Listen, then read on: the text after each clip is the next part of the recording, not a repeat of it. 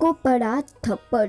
प्रीतो तो हुई हीर से गुस्सा। वेल, चलिए जानते हैं क्या देखने मिलेगा शक्ति के अपकमिंग ट्रैक में। आपको बता दें, इन दिनों शो शक्ति में देखने मिल रहा है हाई वोल्टेज ड्रामा। जी हाँ जहाँ विराट को दी गई थी चुनौती, फिर से विराट ने ढूंढ लिया है अपनी हीर को। जी हाँ प्रीतो हरक सिंह और हीर कहीं दूर चले गए थे, जिसके चलते उनका कहना था कि अगर विराट ने तुम्हें ढूंढ लिया तो हम विराट की बात मान सकते हैं। तो इसी के चलते आपको बता दें, हीर हो गई थी विराट से दूर। तो वही अब अपकमिंग ट्रैक में आपको देखने मिलेगा कि हीर ही विराट को कॉल करके अपने जगह का पता बताती है और फिर एक बार विराट पहुँच जाता है हीर से मिलने जिसके बाद प्रीतो को काफ़ी गुस्सा आया है और इसी के चलते प्रीतो ने लगा दिया है हीर को थप्पड़। जी हाँ और इसी के बाद हीर जानना चाहती है कि, क्या ऐसी बात है जिसके चलते प्रीतो इतनी ज़्यादा गुस्सा हो गई और हमें एक नहीं होने देनी। वेल विराट तो सारा सच जानता है, पर अब देखना काफ़ी ज़्यादा इंटरेस्टिंग होगा।